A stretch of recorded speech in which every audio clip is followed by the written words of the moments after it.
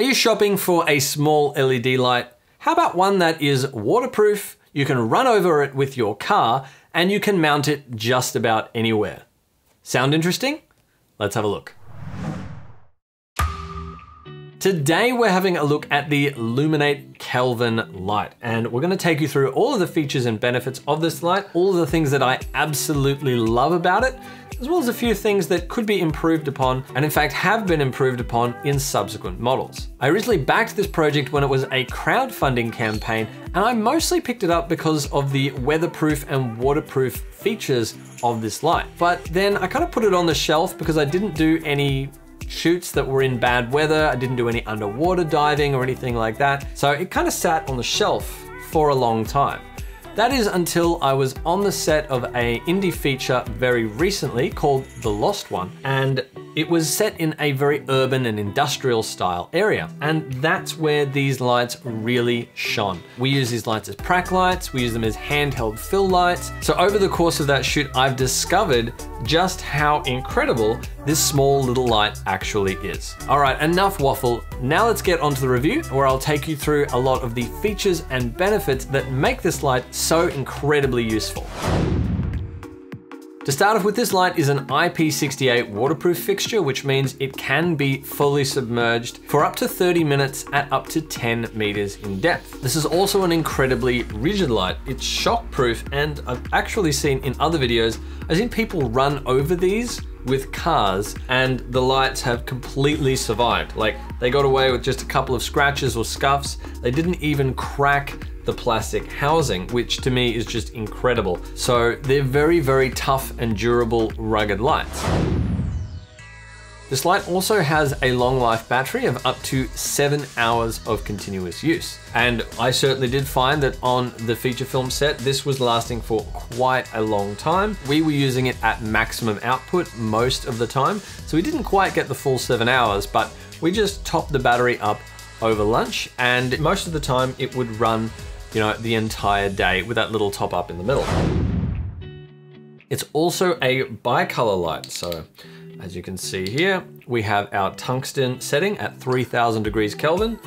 Double tap the button on the end and you cycle over to your daylight setting at 5500 degrees Kelvin. And both seem to have a fairly comparable amount of output with the daylight being slightly brighter. I think I measured it at up to 260 lux at one meter. And at tungsten, it measured 180 lux at one meter. So a little bit more output if you're using the daylight setting, which is what we were using most of the time. So the LEDs in this light are a very high quality source of LED and uh, there's a row of LEDs here that are beneath this layer of diffusion. So this is a nice diffused light source, which is great for a fill light or a backlight. And these LEDs are 95 plus CRI, so they're very high quality. You know you're not going to get any green or magenta shifts. It's a color that you know you can rely on. So I really appreciate that about these lights. I'm very picky when it comes to CRI. So it's a fairly simple design. Um, it has one button on the end here, which you can press to turn the light on and off. If you double press that button, it will cycle between your daylight and uh, tungsten color temperatures. If you press and hold the button, it will dim the light up and down. Now, it can be a little bit tricky to be precise with this one button system. Um, you kind of have to guess when the light will start to dim and then take your finger off at exactly the right level of brightness. There's no like control knob or um, output indicator that you can use to really set a specific output uh, which is a little bit annoying. That can be remedied somewhat with the included remote control. Now, that's one of the benefits of the remote control, but there's a lot of things about this remote control that I find a little bit annoying. The first thing being it has an on and off button, which will not work unless you've turned the light on first. Once you've turned it on, it will then turn the light on and off, and then you can control the output, dimming it up or down, which is a lot slower. So you do have more precision there, but it takes a long time to get to full brightness down to its lowest setting.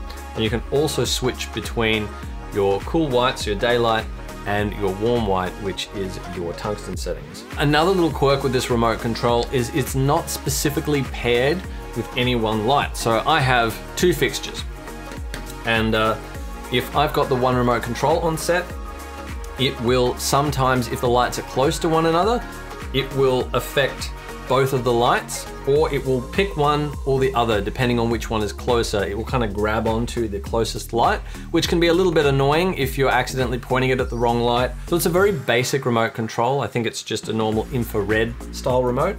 And in the newer versions of the Lumin8, which is the Lumin8 Spectrum, they've actually gone app-based, which I think is a much better system. And if I get my hands on one of those, I look forward to checking out that functionality. So let me know down in the comments below if you would like to see a review on that version of this light, the Lumin8 Spectrum, which is the full RGB version.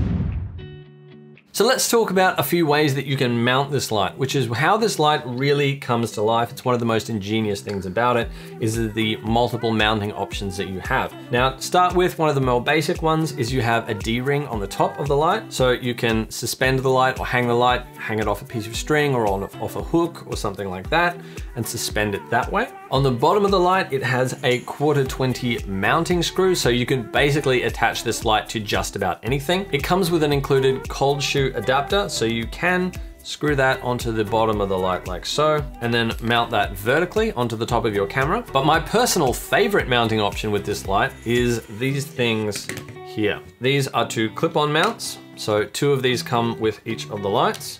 So you simply snap them on to the light like so. And on the bottom here, they both have a quarter 20 again, so you can mount them to virtually anything, including the uh, cold shoe attachment. So you can put that on there, slide that to the center of the light and you can mount it horizontally. But the real magic in this is that these are magnetic and you can basically mount this to any metal surface. And this is how we mounted the light 90% of the time on the feature shoot that we were on. So to give you an idea, here's just a double header attachment that I've got here. Boom, snaps on. It's really lightweight, so you can just position that however you want, and that just clips on just like so. So this is how we were mounting this light all over the place. Mounting it to roofs, mounting it to walls, mounting it to all kinds of weird and wonderful places, mounting it to cars and vans and cages. It really is a great uh, mounting option uh, that I just absolutely fell in love with. So that is my favorite thing about this particular light. So they are the different ways you can mount the light. Uh, it also is just a great handheld practical light. So you could hand this to an actor so that they can walk around a set with it if it's the right kind of film. Alternately, you can just give this to a crew member. If you're in a run and gun situation and you need a fill light or a backlight in a hurry, you can just pop it in their hand, hold it out like so, and you've got yourself a fill light really quick and easy. All right, so now that we've talked about our mounting points, let's have a look at how this light uses its power system. So if you unscrew the bottom cap here, you will see that there are two ports on the base of this light. You have a full-sized USB-A port and you have a micro USB port. Now the full-size USB-A port can use the light's internal battery as a power bank, which is a funky idea and you can use it to charge your phone or some other device. But what I have noticed in my tests is that that drains the light's battery very, very quickly. So you're not gonna get a lot of charge out of this light. That leads to my next point, which is charging time. Now this uses micro USB and the charge time on this light is really, really long.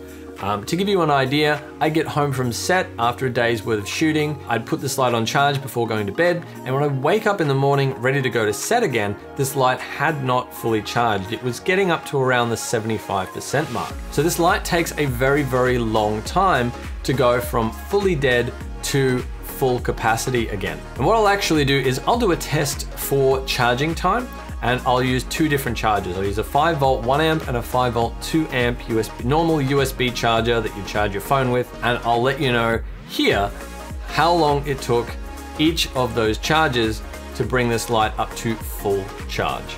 Now this is something that I believe they've addressed with the newer models, the Spectrum and the Full Spectrum models, Uh, they've replaced that micro USB with USB-C, which should have significantly decreased recharge time. So that's something I'm really glad to see fixed because that is probably my biggest gripe with this light, which in every other way virtually is an excellent, excellent small LED light.